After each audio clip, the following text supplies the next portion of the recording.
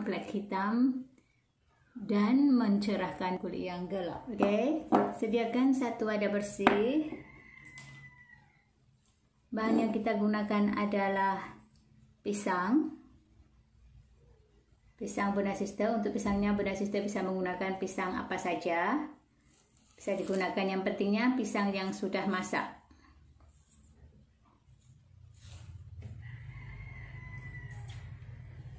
Oke, kita kikis-kikis seperti ini.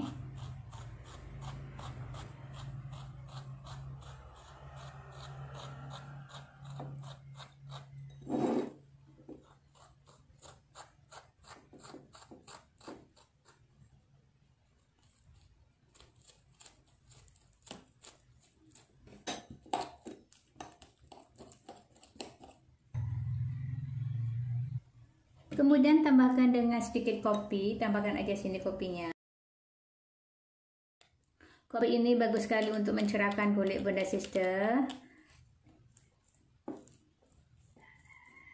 Aduk-aduk seperti ini.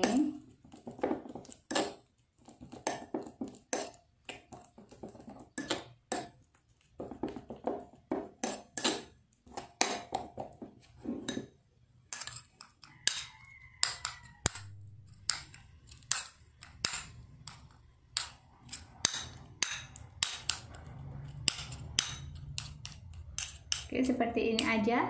Setelah ini Bunda Sister bisa langsung menggunakan bahan ini. Jadi bahan yang kita gunakan adalah kopi dan pisang.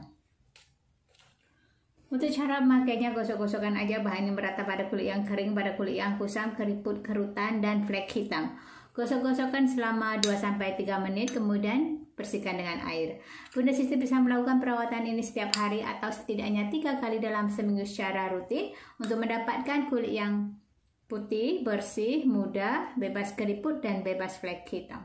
Oke, okay, jadi seperti ini aja. Ambil sedikit, kemudian kita gosokkan pada kulit.